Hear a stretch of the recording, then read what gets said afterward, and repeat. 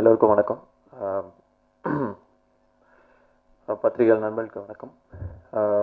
அதான் இந்த படம் சார் சொன்ன மாதிரி ஃபஸ்ட்டு நிவாஸ் வீட்டுக்கு தான் நான் போயிருந்தேன். அக்காவோட பத்திரிக்கை தரத்துக்கு கல்யாண பத்திரிக்கை தரத்துக்கு.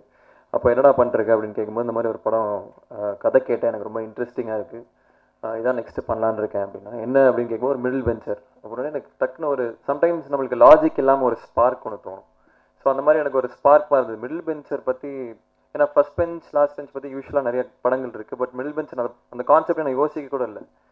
ஸோ ரொம்ப இன்ட்ரெஸ்டிங்காக இருக்குது யார் பண்ணுறா அப்படின்னு டீட்டெயில்ஸ்லாம் கேட்டேன். அதுக்கப்புறம் காஸ்டிங் முடிஞ்சுதான் உடனே இல்லை பார்த்துட்டு இருக்காங்க. உடனே உடனே ஞானவேல் சார் கூப்பிட்டேன்.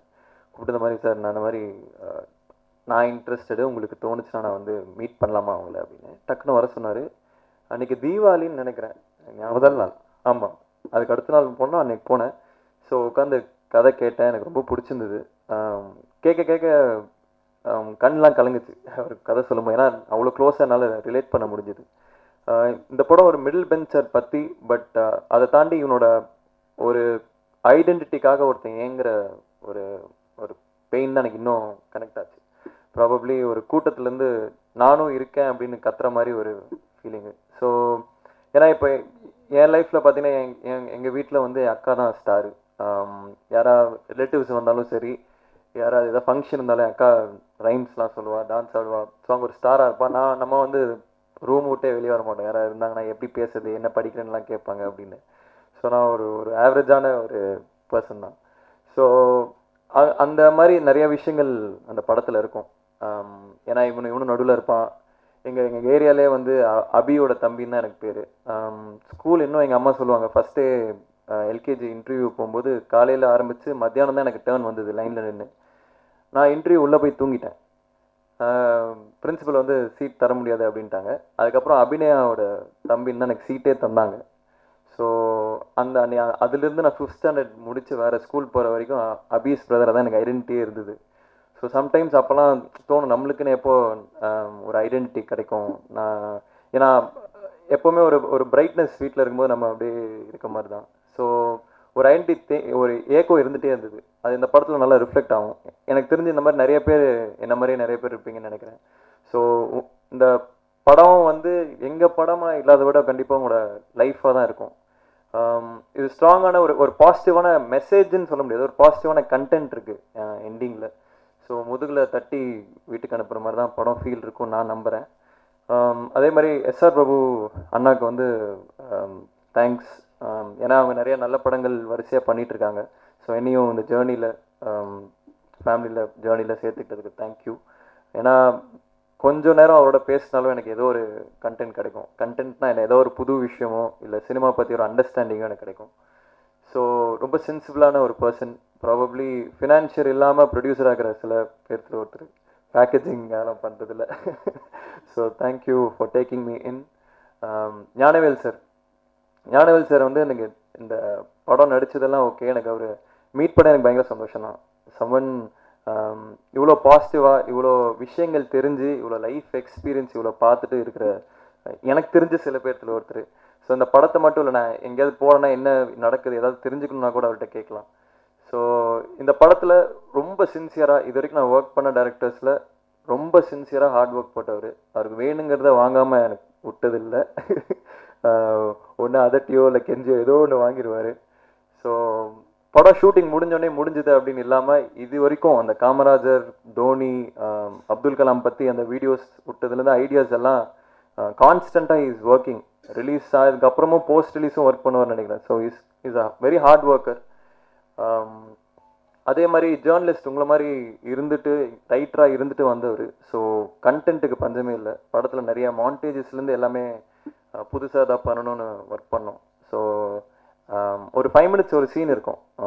இந்த பையன் வந்து அவனை பற்றி ஃபஸ்ட் டைம் எக்ஸ்ப்ளோர் ஆகிற மாதிரி ஒரு வருஷம் உள்ளே வச்சுருந்து எக்ஸ்ப்ளோர் ஆகிற மாதிரி.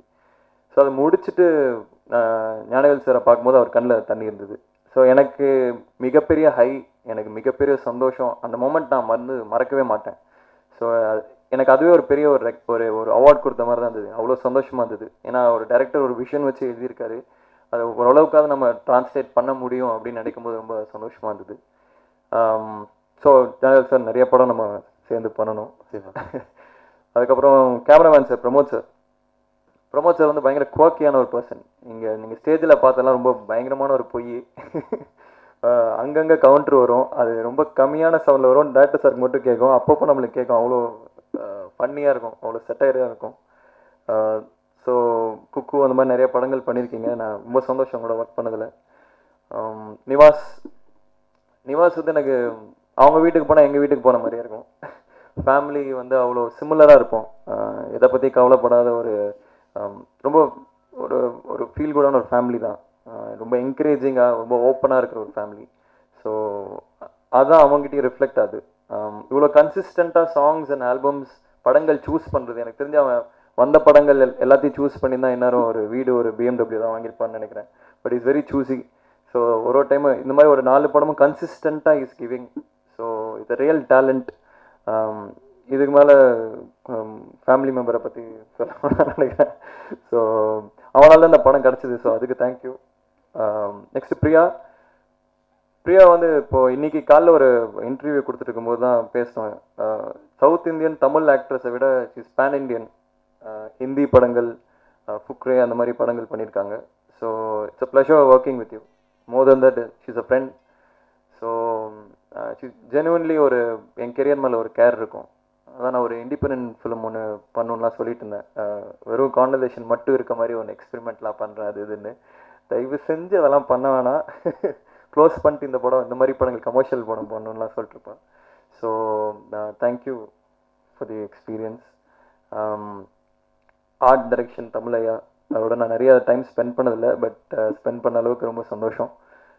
லியோ ஜான் பால் எடிட்டர் என்னோட ஜேர்னியில் ஒரு இட்டர்னல் இன்டெக்ரல் பார்ட்டாக இருந்ததுனால thank you Leo think music Santhosh other family member மாலை போட்டிருக்கேன் அது முக்கியமான இன்னொரு காரணம் வந்து சந்தோஷ்.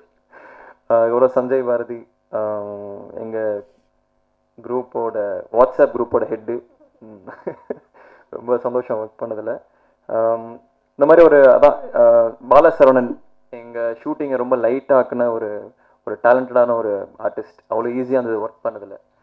ஸோ இந்த மாதிரி ஒரு நல்ல டீமோட ஒரு ஸ்ட்ராங் கண்டென்ட் இருக்கிற ஒரு படம்.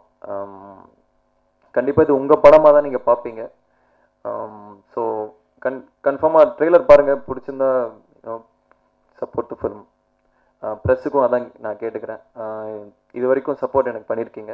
இன்னும் தொடர்ந்து பண்ணுவீங்கன்னு எதிர்பார்க்குறேன். Thank you thank